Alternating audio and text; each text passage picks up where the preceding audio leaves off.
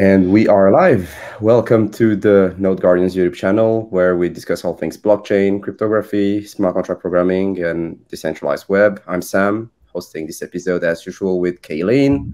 And we are welcoming today Mustafa Al Bassam, who is the CEO of Celestia Labs, the main company that's contributing to the Celestia network, which is a scalable and general purpose data availability layer for decentralized apps and trust minimized sidechains, rollups. Mustafa, it's always a pleasure to have you on the show. How are you? Yeah, thanks for having me. I'm very well. How are you guys? Pretty good. Uh, for, for the people that do not know you, it would be nice to know a little bit more about your background and how you ended up building Celestia. Sure, yeah. So I've been interested in decentralized networks and systems from a very early age. And so I uh, heard about Bitcoin, you know, first when it came out in 2008, 2009. And I started a PhD focusing on layer one scalability in 2016. And there I worked on one of the first sharding protocols called Chainspace. And then that was later spun out into its own project. And the company behind it was acquired by Facebook. But I decided not to join Facebook. And instead, I started Lazy Ledger, which is now known as Celestia. Okay. And what is uh, Celestia at a high level? At a high level, Celestia is what we describe as a pluggable data availability layer. Now let's unpack what does that mean. Traditional blockchains like Bitcoin and Ethereum, they have a very similar design where the nodes in that chain do everything. Um, they do consensus, data availability, and execution. But what we've realized is that if you kind of take the idea of a blockchain back to its core components, you can actually split up a blockchain into multiple components. And those components are consensus and data availability and execution. And so the idea of Celestia is basically if we reimagine blockchains and went to kind of like square one, what is the most minimal blockchain you can create? And that's why it was originally called Lazy Ledger, because it's like a lazy blockchain. It doesn't do any computation or execution the only thing you can do on it is basically add data to it. Like you can dump data on it and it will order that data for you and make it available for you, but it doesn't execute transactions. And it turns out that that's basically the only thing you really need for layer one blockchain because people can develop their own applications on top in the form of their own execution layers using rollup technology. Because the whole way that rollups work is that rollups are basically blockchains that use a different blockchain for consensus and data availability. So the core idea is like you can split the execution and consensus in the blockchain so that you can give developers the freedom to define their own execution environments. Yeah, so I think Celestia also tackles the data availability problem. So could you explain how security is solely derived from data availability without a settlement layer like Ethereum? Sure. So as I mentioned, Celestia doesn't execute transactions. It only orders them and makes them available. And the idea of a modular blockchain stack is that by separating the components, each component can become more specialized. So because Celestia only focuses on data availability, we can optimize for higher data availability throughput because you can specialize in that just one task. And then it's more efficient if each layer in the stack specializes on the specific task that they're suited for. And so with Celestia, our core mission is to scale data availability to provide abundant block space for all blockchain applications. And we use a number of core technologies to achieve that, including one called data availability sampling, which basically allows users to verify the data availability of, of the chain without having to download all the data. Okay. And this new design where you're decoupling execution for consensus what kind of scale, what magnitude of scaling can we expect? What kind of performance we can expect from this solution compared to not legacy blockchains, but even some alt L ones that are trading lately, or the throughput that rollup should theoretically reach? Sure. So ultimately, the scalability has several different factors to it, but the core reason why rollups are more scalable than just standard smart contract platforms is because rollups have off-chain execution. So that means you can create your own rollup, and the nodes in that rollup they only have to worry about executing the transactions in that rollup. That means they have to share computational resources with other applications. Kind of like how in Cosmos, you can, you can create your own Cosmos chain, but the validators don't have to execute every other Cosmos chain's execution uh, transactions. So rollups provide more scalability because it's basically like sharding computation. And then because the L1 does not do computation, it only does data availability, you get benefits from specialization because the data availability throughput of that chain is no longer limited by the fact that the nodes also have to do computation. So like depending on the rollup, you can, you can get anywhere between a 10 to 100x throughput increase depending on how much data that rollup uses on the L1. But the way that we look at scalability is that scalability is throughput divided by the cost for end users to validate the chain. So it's no good only increasing throughput because the whole point of Web3 on blockchains is that it's meant to be decentralized and that users should have the ability to independently verify the correctness of the chain. So like if you make it that too expensive, if you make full nodes too expensive, all you're really basic, basically doing is building an expensive database. And that's why um, a big focus of Celestia is that we want to support light clients and support secure light nodes so that users can, for example, even run a blockchain node on their phone that verifies the correctness and the validity of the chain. So you mentioned that the throughput not only depends on throughput, but also it's divided by the cost of the fees. This might be a dumb question, but could you explain what Celestia is trying to do in terms of calculating the fees? Like, are they trying to decrease the fees of every transaction that is happening on Celestia or the rollup or anything related to that? I don't mean the transaction fees. I mean the the cost for like end users to actually run a node. If you're only interacting with the blockchain through centralized services, you're not actually having the security guarantees of a blockchain because you have to trust that centralized service. But it's about like how expensive is it for the users to run their own node, their own full node, for example, that actually validates the transactions on the actual chain. Because the whole point of a blockchain is that you don't have to trust any third parties. But and, and users, if you have to use Coinbase or something like that, you basically have to trust a third party. So it's, it's basically like banking all over again. But if we have light nodes, then users can actually directly be first class citizens of the network and verify that the transactions are valid. And so one obvious way to increase the throughput of a blockchain is just increase the block size. But increasing the block size of the blockchain does not increase the scalability because it also, if you increase the block size, you're also increasing the cost for end users to actually get any guarantees about the chain because they have to download more and more data. But light nodes and light node technology allows end users to validate the chain without having to download all the data. That's what one of our big focuses are to enable efficient light nodes. Uh, but of course, um, having lower low fees is important. And to have low fees, you, need ab- abundant block space. Um, and that's also a, a, big goal of Celestia.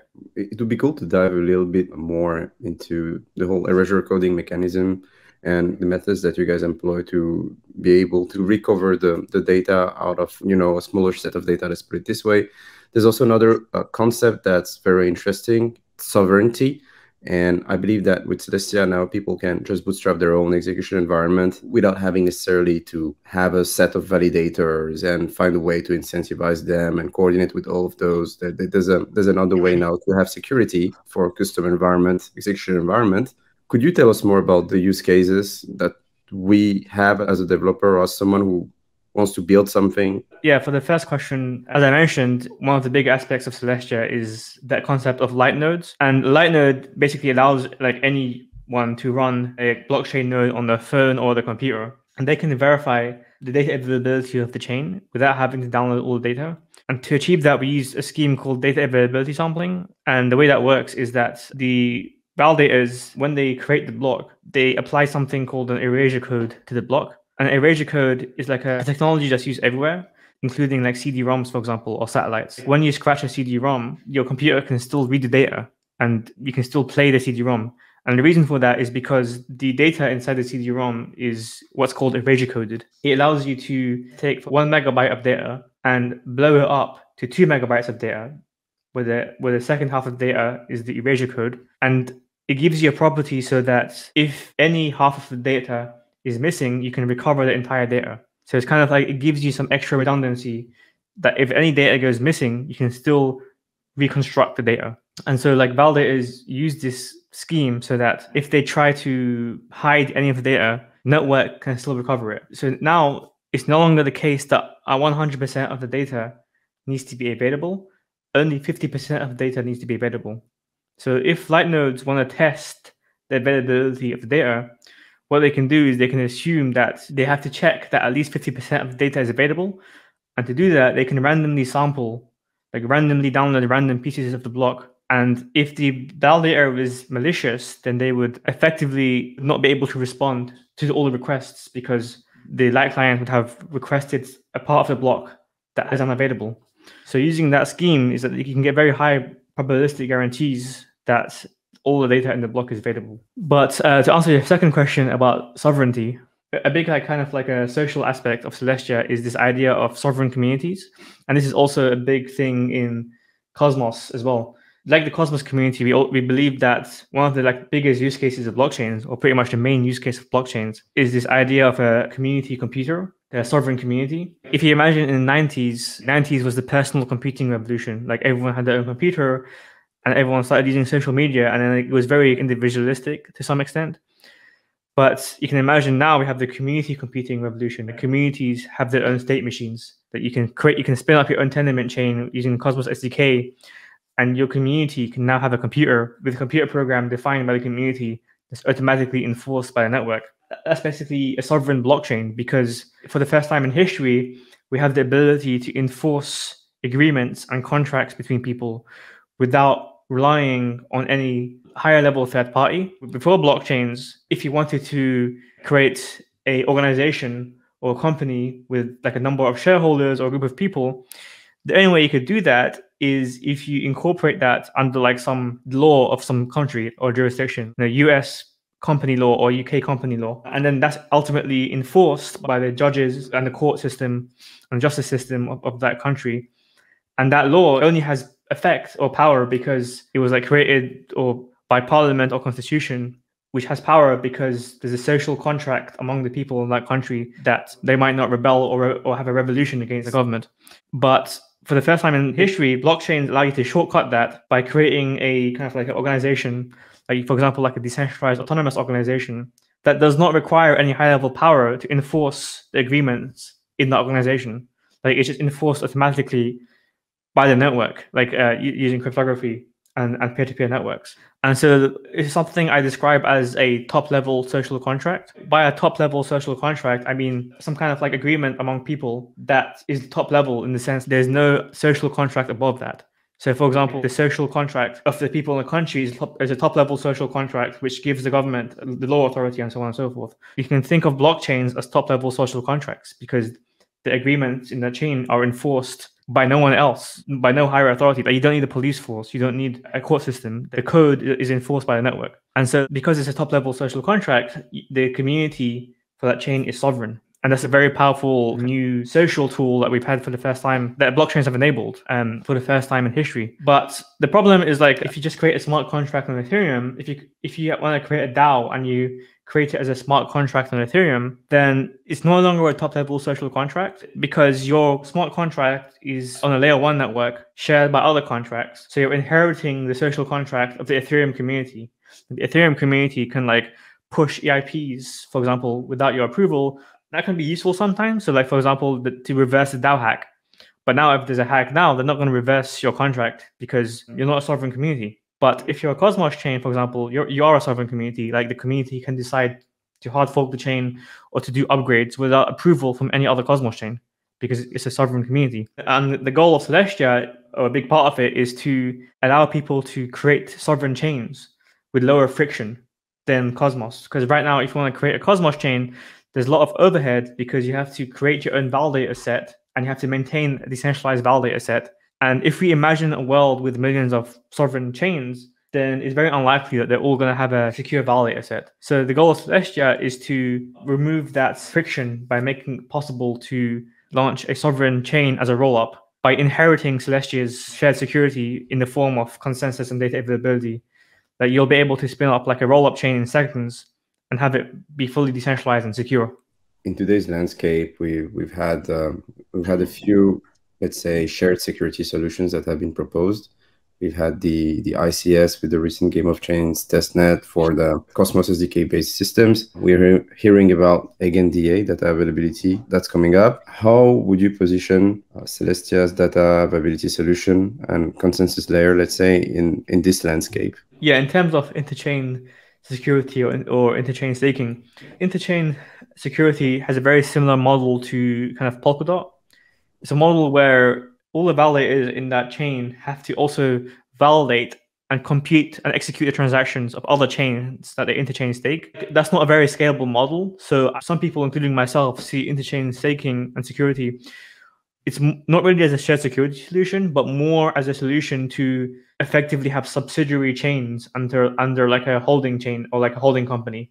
if the Cosmos Hub wanted to integrate CosmWasm or something like that, they could just do it as a subsidiary consumer chain, for example, instead of like having it directly onto the main chain. Even Celestia, for example, if the Celestia community wanted to enshrine a settlement layer to Celestia, could be done as a consumer chain using interchain security. But as a, as a shared security solution, it's not really something that I see scaling to millions of chains because of the fact that the validators of that chain, like if you have 100, 100 validators in that chain, they have to recompute every transaction in the chains that they interchain secure or are consumer chains. But with rollups, that's not necessary because rollups, their computation happens off chain. So you don't need a, a large set of validators. All you need at minimum is one sequencer because if that sequencer is dishonest, you can challenge them with a fraud proof or you can have a ZK proof yeah, if you post a validity proof and it happens to be to be wrong on mainnet, it, it's actually tolerable to have the sequencer run by someone that's malicious because there are ways to prevent any form of damage. And what you basically said is that for the interchain security, it doesn't scale because the operators have to run multiple workloads, and this security cannot be distributed to like 50 child chains because it would be too annoying from a DevOps standpoint to to maintain everything. So it's kind of bottlenecked by this, right? Yeah, exactly. Here's something that we've been hearing that interchain staking is actually quite expensive for validators. Yeah, because they have basically have to validate multiple chains at the same, at the same time. And it's risky in the sense that if you actually do something wrong on one of these new chains that's bootstrapped, you actually get slashed on your Cosmos Hub validator. And that's one effect that you would like to avoid, I, I, guess. And I think it's pretty much the same thing. On Eigenlayer, you're basically like commoditizing Ethereum security and you're, you're adding slashing conditions um, you can basically secure other systems uh, outside of Ethereum. And should something go wrong, you're a slash on your ETH stake. And I think it's the same thing. You also have to run another client that's specific to the chain you're you're you're supporting. Yeah. Okay.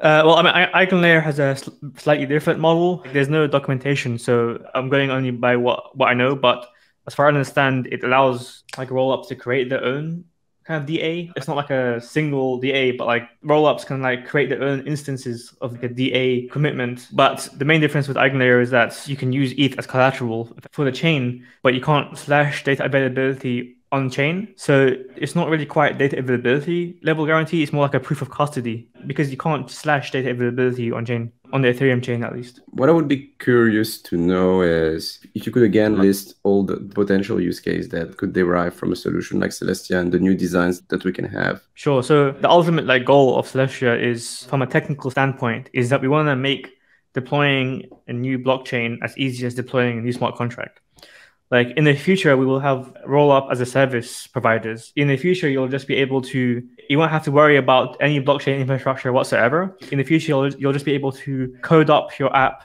or uh, design your application and submit it to a sequencing service that will automatically deploy your app as a roll up on celestia for example. And you wouldn't have to trust that sequencing service in any way because if they misbehave then you'll have a fraud proof or zk proof and you won't have to trust them necessarily for censorship resistance either, because the rollup can inherit the censorship resistance from the DA layer like Celestia. This is a very powerful um, way to develop because compared to deploying a smart contract on Ethereum, for example, because deploying a smart contract on a shared smart contract platform has many limitations, including the fact that you're limited to the execution environment that layer one gives you, and also the fact that you have to share computational resources with all the other smart contracts on there. We've seen a very similar evolution for Web 2. Back in the early days of the web, if you wanted to create a website, the only way you would do that is your server was on your computer and people will connect directly to your computer. So most people didn't have their own website because that's quite a lot of overhead to maintain a web server. But then in the late 90s or early 2000s, we had shared web hosting providers, GeoCities, for example, or Bluehost and, and DreamHost. And that allowed people to upload their website code to those providers and they would run them on shared servers. They would usually give you a specific set of programming languages and software on the servers like PHP and MySQL. And that's very similar to smart contract platforms today because you upload your smart contract code to Ethereum or Solana and it runs it on the same world computer or the same chain as everyone. But then obviously Web 2 evolved and now we have virtualization, we have DigitalOcean, we have AWS, and now everyone can instantly spin up their own web server and install anything they want on there, any programming language they want, any execution environment they want, without having to actually maintain physical hardware. because the infrastructure providers maintain that physical hardware for them. And so what we're trying to achieve is something very similar. We want to allow people to create their own rollups, create their own chains in the form of rollups without having to maintain their own layer one infrastructure. And so you can kind of think of rollups as virtual blockchains on top of a physical blockchain. So to enable some of the goals that you mentioned that you're developing secure light client nodes, I was just wondering what's the technical infrastructure behind that? Like, how does it actually work on top of everything in Celestia? So, the main reason why we're focusing on light nodes is because I think that's currently the biggest criticisms of Web3 right now. The whole point of Web3 is that it's meant to be decentralized, but it's not really decentralized if everyone's just using Infura via MetaMask and having to trust centralized endpoints to interact with the chain. Ultimately, that's just like a interacting with a centralized database to some extent. But before Ethereum, Bitcoin had very good light node support. If you download the Bitcoin wallet on Android, it will actually connect directly to the Bitcoin network. You will submit transactions and get data directly from the Bitcoin network. Like you don't have to connect to any centralized services like Infura or anything like that. So I think it's a great shame that Ethereum depopularized light clients or like made everyone assume that light clients are hard when they're not really that hard. Like Bitcoin achieved them before Ethereum. So I think we need to see a shift back to light clients. And with Celestia, we're trying to design light clients that are almost as secure as full nodes because full nodes are the most secure type of blockchain node because they actually validate all the transactions in the chain and verify that, that they're correct. But light nodes, obviously, they can't do that because they're running on normal people's computers or, or, or phones. So we've designed technology to allow light nodes to get almost very similar guarantees to a full node. That's where data availability sampling comes in, as I mentioned earlier, but that's also where ZK proofs and fraud proofs come in. Because with ZK proofs and fraud proofs, light clients can get guarantees that the transactions are correct without actually having to re-execute all the transactions. Because then instead of re-executing all the transactions, they can just rely on a ZK proof or a fraud proof. So basically there's always a window where someone can create the fraud proof to challenge something, but this is the job of full nodes in that case, right? Yeah, so you still have full nodes, but you only need at least one honest full node. The full nodes generate the fraud proofs. So you mentioned erasure coding as well before. And so right now, Celestia, from what I understand, is using erasure coding and fraud proofs to sort of guarantee that data availability with also a Reed-Solomon Merkle tree encoding. How is this like different from the structure of Ethereum's case where it uses like KZG commitments? Why was there a choice? Like, what's the reason behind the choice of using the composition of these two?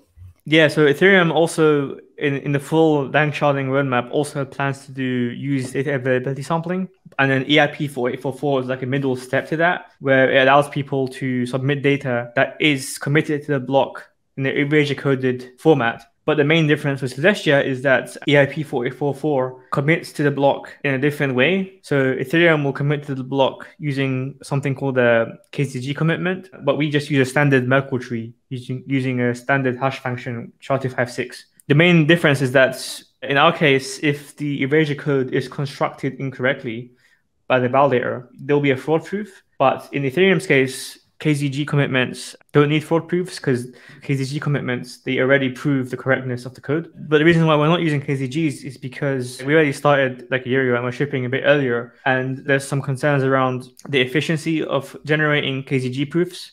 It's quite slow to generate these KZG proofs, and so the validators will need very expensive provers to compute the proofs, and so that's why we're using the standard scheme.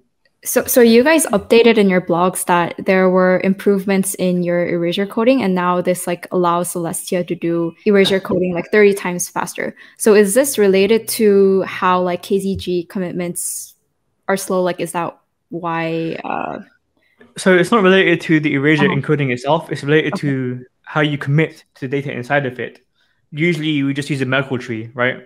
But KZG commitments don't use Merkle trees; they use a polynomial commitment. But the step before that is actually computing the erasure code. That's not the problem. The problem is the step after that, which is once you've computed the commitment, you need to be able to prove to the light nodes that some piece of data is inside of the commitment. With a Merkle tree, that would that would be just like a Merkle proof that involves like a branch to a specific leaf in the tree, which is very cheap. But with a KZG commitment, it involves something called an opening, which involves some expensive cryptographic computation to compute a proof that some piece of data is inside of the commitment. Okay, and you're not working with KZG now because it's not really aligned with your vision of decentralization and sovereignty. It would make the operating the network less, let's say, inclusive, as running the prover would be something that's very resource intensive. And so for now, that would be one of the reasons that made you not choose such a system. Well, the main reason is just the throughput cost of it.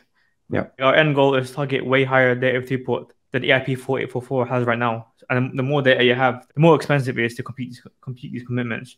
But that being said, we are um, kind of ex- exploring other ways to um, like ZK proof the correctness of the data commitment. Like we're also exploring using Starks. Like you, you can Stark proof the correctness of the code and the and the Merkle tree. But we're also exploring that as alternative way other than KZG commitments.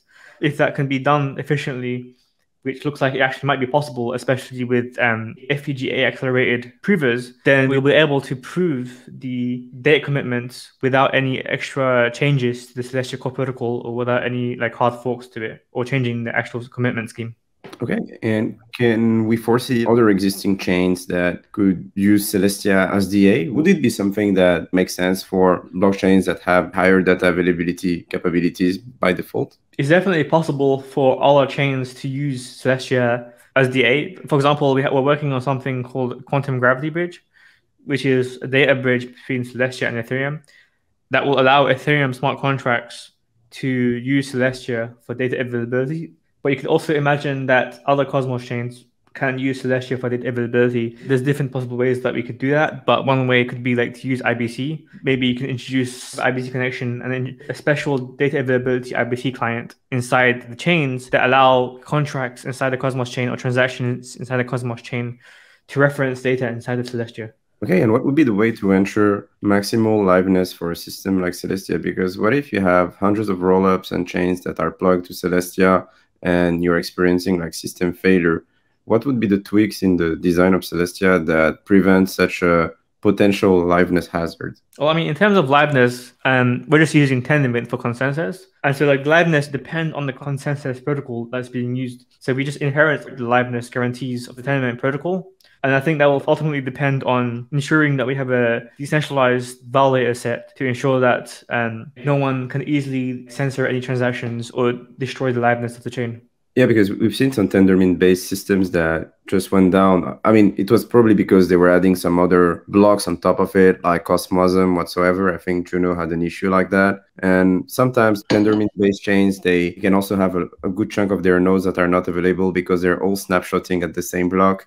I yeah was just curious to know what aside from the, the consensus mechanism, if there were any aspects, methods that could make Celestia uh, overcome any, any kind of attack on that aspect. If there's bugs or issues in Tendermint, that's definitely something that should be addressed and fixed. But in terms of like liveness, we've been doing very heavy in testing um, internally. We've developed our own testing infrastructure using something called Testground, which allows us to like spin up hundreds of validators and thousands of light nodes. So we've scaled that infrastructure to like over a thousand nodes. We're planning to scale that up soon to 5,000. And that kind of allows us to kind of like stress test the network and identify any kind of issues in the network or bugs, whether they're liveness related or safety related. And that's really kind of helped us a lot over the past few months to to analyze the performance of the network and to test any bugs that could affect the performance or li- of liveness of the chain. So I think, yeah, ultimately, the liveness of the guarantees of Tendermint are pretty standard and pretty good. But in practice, obviously, there's a lot of software and quality assurance issues that can affect liveness, even if the protocol is theoretically good. And I think it's just a matter of like, having really good testing infrastructure to identify those issues before they arise.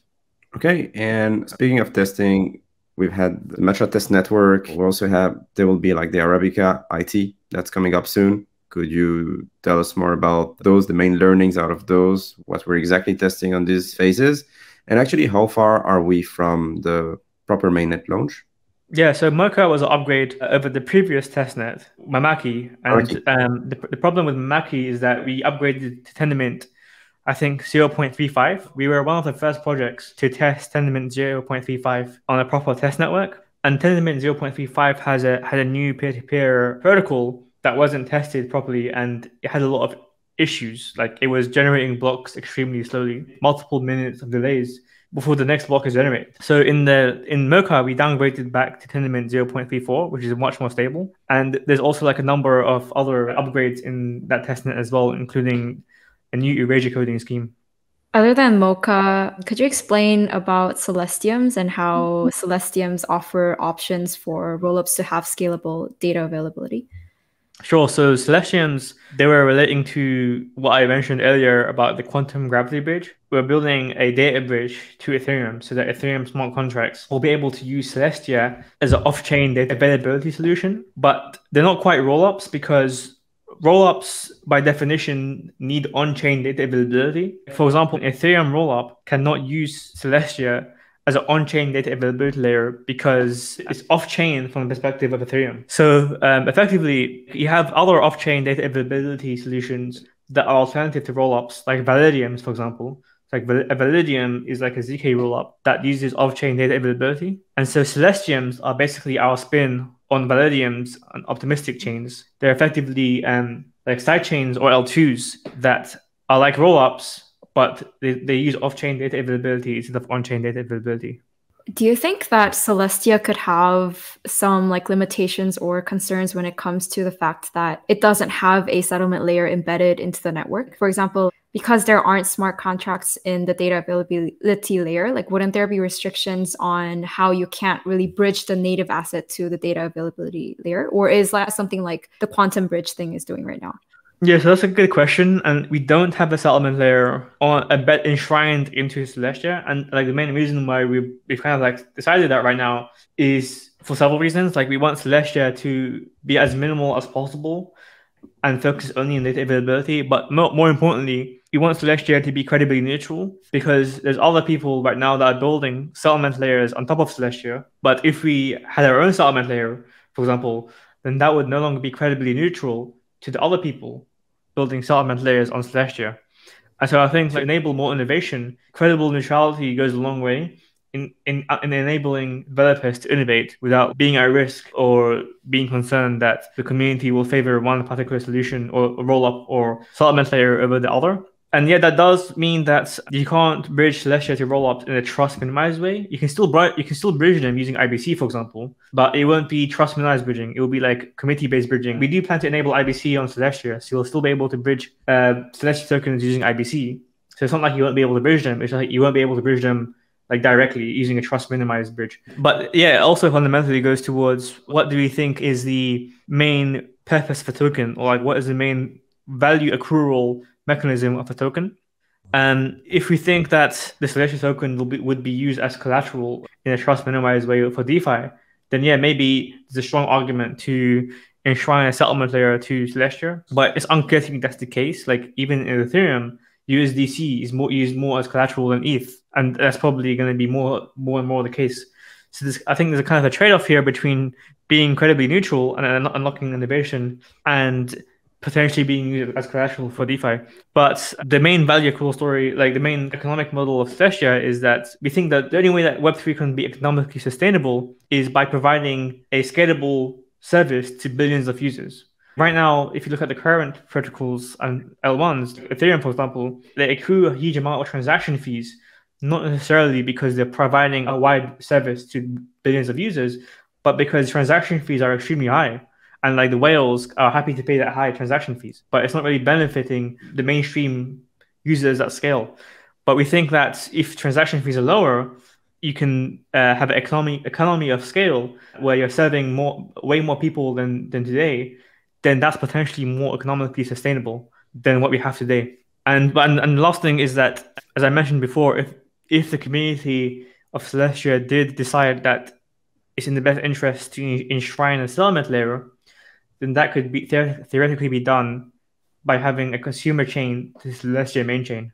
I have a question that might sound absurd, but let, us say you have Celestia, the Celestia network has been running for like 20 years. You have thousands of execution environments that are running and that are basically leveraging the Celestia network. And you would still need to have full nodes in order to generate fraud proofs, right? And you would have to manipulate tremendously huge data sets should the, the usage of the Celestia network actually explodes. So what do we do when all these chains reach critical mass? And we're still hoping that there will be someone with the entire data set that would come to challenge um, you know malicious events. Sure. So in the case of data availability for proofs you don't necessarily need the entire data set to generate a fault proof because we use what we describe as a two-dimensional erasure coding scheme, which means that if you wanted to contribute towards generating fault proofs in the network, you could just download specific rows or columns in that two-dimensional square, and then you can generate fault proofs for particular rows or columns. And to help facilitate that in the future, we're planning to have something called a partial storage node so that if you want to like help store the data on the Celestia network or make it available, you don't have to commit to storing the entire chain. Maybe you only have like 100 gigabytes or terabytes of storage. You can commit to running a partial storage node and only storing part of the chain. Pretty cool. I remember the Modular Fellows program back in uh, in August 2022. I think it was lasting on on three months. I'll be curious to know what yeah what were some of the ideas that finally came out out of this initiative, and also curious to know what would be the path today to to build on Celestia, to receive support, engineering support, or, or, or funding. What would be the the road to follow on, on that aspect? Sure. So our modular fellows program consisted of two sets of, of fellows. There was the main fellows, and then there were also what's called honorary fellows, which were like projects that were already building on Celestia. And there, there were several kind of interesting projects that came out of that. One of the interesting projects that came out, there's someone building a Celestia name service on Celestia. But another interesting project that came out was a project called FuelMint, which takes the Fuel virtual machine and then creates an ABCI compatible wrapper around it and make it work with Rollkit. So that was very interesting because to experiment with adding new execution environments to Rollkit. There's also um, some interesting projects by honorary fellows as well, including Dymension, which is they're building a settlement layer for Cosmos-based rollups that use they use Celestia for DA. And then we also have projects like Sovereign Labs and and um, Eclipse. If you've if you've heard of them, like Sovereign Labs is building a SDK for building sovereign zk rollups and Eclipse is building rollup infrastructure, which includes allowing you to run Solana, the Solana virtual machine as a rollup. Yeah, I've definitely heard about it. And uh, we've also seen a few partnerships and integrations uh, lately, I believe, with Saga and uh, quite a few other ones. Could you tell us a bit more about those? Yeah, we definitely have a very rapidly growing ecosystem because I think many developers kind of see the value of a modular ecosystem. It unlocks a lot of innovation and there's like a flywheel effect where you're building Lego pieces that are very easy to compose. Uh, yeah, in terms of Saga, they're exploring creating a sequencer as a service offering via interchain staking. You can get sequencers for your rollup via the interchain staking mechanism.